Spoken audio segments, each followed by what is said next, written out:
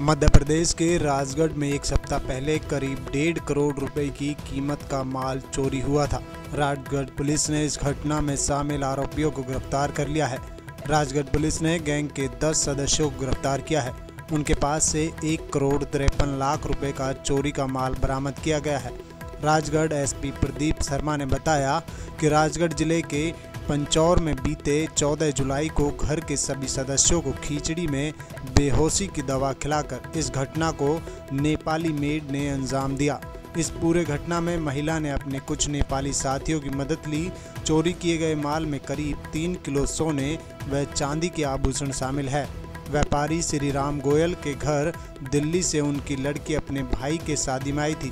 व्यापारी के लड़की को झांसा देकर मेड दिल्ली से राजगढ़ आई थी। घर वालों का विश्वास जीतने के बाद नेपाली महिला ने इस घटना को अंजाम दिया। कि करीबन एक हफ़्ता पहले, पिछले हफ़्ते बुधवार को पचौर में श्री राम गोयल जी के यहाँ एक बड़ी घटना को कुछ लोगों ने अंजाम दिया था, जिसमें मुख्य आरोपी अनुष्का है। इनके नेपाल ओरिजिन की हैं, ये नेपाल की रहने वाली है। इनके साथ करीबन छः लोग और हैं जो नेपाल के ही रहने वाले हैं, इस पूरे गैंग में शामिल हैं। हमारी जो स्पेशल टीम थी।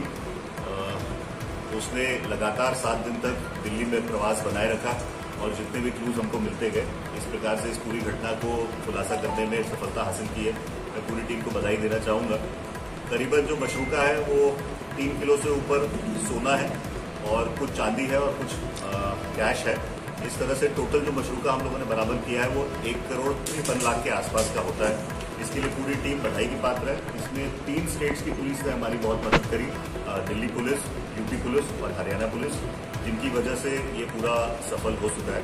सभी गैंग वालों को गिरफ़्तार कर लिया गया इनसे हमें उम्मीद है कि एक अंतर्राष्ट्रीय गैंग है, जो नेपाल से मेड सर्विसेज़ के नाम पर अलग अलग जगहों पर ऑपरेट करता था और इन्होंने कई जगह पर लोगों को जो जहर खुरानी जो हम सामान्य शब्दों में कहते हैं, इस तरह की चीज़ें करके ये घटना कारित की है। हमें कुछ सूचनाएँ और भी जगह से मिली है। अभी हम इन लोगों को पुलिस रिमांड पर लेंगे और हमें उम्मीद है कि इस तरह की और भी घटनाओं का हम खुलासा कर सकेंगे। सबसे ज़्यादा हर्ष की बात यह है कि जनता ने और जो कचौर की जनता है और राजगढ़ ज़िले की जनता है और हमारे पत्रकार हैं, उन्होंने हमारा बहुत साथ दिया और उत्साहवर्धन किया।